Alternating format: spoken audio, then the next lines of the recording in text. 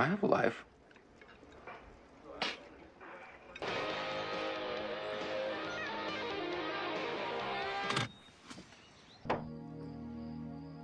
Who is it?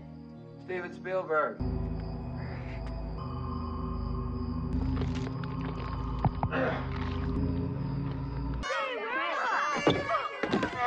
Later, dude.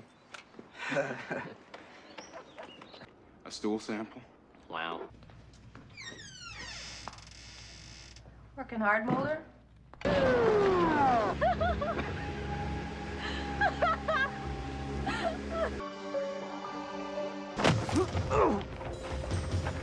How do you like that? A politically correct elevator. Ah. Before anyone passes judgment, may I remind you, we are in the Arctic. Mulder, you're rushing me out of the room. No, I'm not. Do you have a girl coming over? What's a girl? You know, some mistakes are quite worth making twice. Potato, potato. Beautiful. Oh, just beautiful. I tore this off my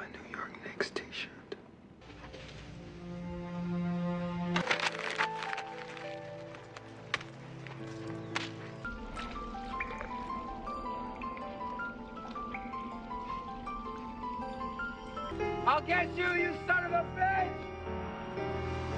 Those were the most paranoid people I have ever met. I don't know how you could think that what they say is even remotely plausible. I think it's remotely plausible that someone might think you're hot.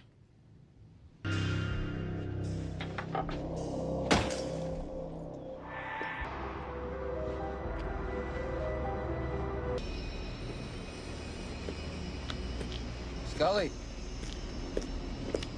Potato. Gave me the creeps. The creeps? Yeah, the creeps. Don't you ever get the creeps? I could smell you a mile away. Well, they told me that even though my deodorant's made for women, it's strong enough for a man. Rugged, manly men in the full bloom of their manhood. Could you help me find my dog? He's a Norwegian elk hound. His name is Heinrich. I use him to hunt moose. If this is monkey pee, you're on your own.